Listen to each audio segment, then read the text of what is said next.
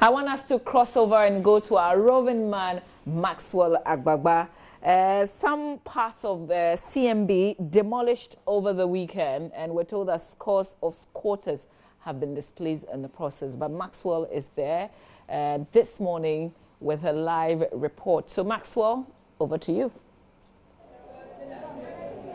Yes, um, as you rightly stated, um, we're currently here um, at CMB, um, right here in the Central Business um, District. What you can see behind me, it's um, I mean, it's the debris and the I mean the destruction. I mean, that was caused by the team here yesterday, um, trying to evict some of the people uh, who live here. Um, hundreds of them are currently here this morning, still not really finding a place to um, go to today. Um, if you look through um, the rubble and what we have here, you can actually see um, personal possessions, you know, still mixed with the uh, the debris of the structures that that were here. A lot of them are makeshift um, structures. Um, some of the squatters who stay here are not willing to talk to us, but we'll try and get them, you know, to talk. And also, uh, you know, we want to find out from them what it is like because um, the information we're picking from the ground, it's that they claim that a final determination on their eviction was to be determined by a court on the um, 19th of February, and um, the least expected the eviction to happen um, yesterday. Some of them are complaining about that. They think that the Ghana Railway Development Authority has not really treated them um, fairly.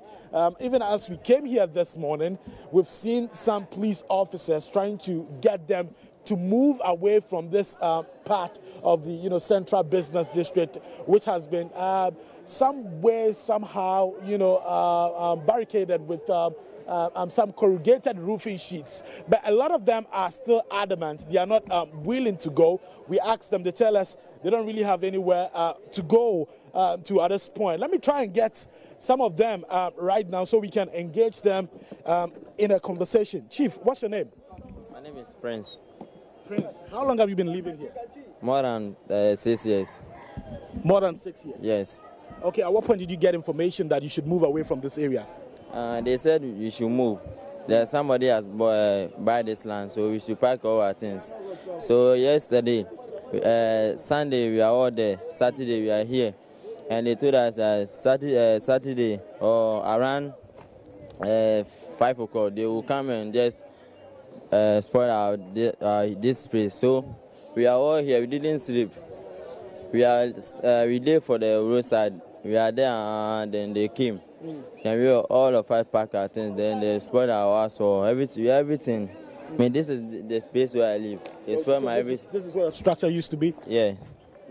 They spoil our things or so you don't have anything to say. Mm. If somebody say yeah buy it, uh, we we went to court and they say that 19th, mm. And he said that this week Sunday, last week Sunday, either the court has said 19th that it doesn't care. Sunday, waiting for Sunday, he will come and destroy this place. So we don't have any uh, place to sleep. So, so why, why, are you going to sleep right now? Because um, I see, I see some armed police officers uh, going around trying to get you to move away from this area. But you are adamant, you're reluctant, you're still here. Yeah. By now, no, when they finish uh, collecting the things, no, they when they when they finish collecting, the, they they went home. So we, we just sleep here. Where, where, where did you sleep? Yes, yeah. You, I, I want you to walk walk us to that place, even though it's dangerous, walk it around. Let's let's try and see if we can. So that's where you slept today. Yes. See, okay. see the, some of them. Okay, so um, at this point we can see um, two gentlemen still sleeping under this um, this shed. This makeshift structure was demolished yesterday, Sunday, but the guys in there are still, you know, sleeping. Not really. Um, I mean, realizing what is happening around them. So even though police officers are coming here trying to move them away, uh, they're unwilling to go. These two men are still sleeping in this structure that was demolished yesterday. So you where, where, would you be going today? Are you still going to sleep here even though your structure has been demolished? No, we are not going anywhere. We don't have nothing uh, place to go. Mm. Yeah. We can sleep here. Mm. When it's uh, 5 o'clock, then wake up and then just go into our job. Okay. Anyway, who do you live here with? My aunties. And oh, my you live here with your family? Yeah. Those people are all my family. Okay. Yeah. Anyway, interesting. Um, now let's try and talk to another gentleman. Uh, he's not willing to talk to us. Uh, Chief, would you want to talk to us? Uh, what's your name? Okay, um, a lot of them are not really willing to um, talk to us. I want to say thank you for agreeing to speak to us. But, um, when you come here this morning, um, this is what we are witnessing here. Um, a lot of the squatters are not willing to move away, even though police officers, we've counted about um, 10 of them, um, still here on the ground trying to sack them from this place. We are told uh, would be given to uh, a, a, a private developer, would become more or less a commercial enclave, and they're trying to develop this place. We've seen an earth moving machine um, trying to um, gather the rubble and also put the debris together so they can dispose them off. So construction will start here at this place. But these squatters are adamant, and they're saying they are not going to move away from this place because they don't have anywhere to go, Mamavi.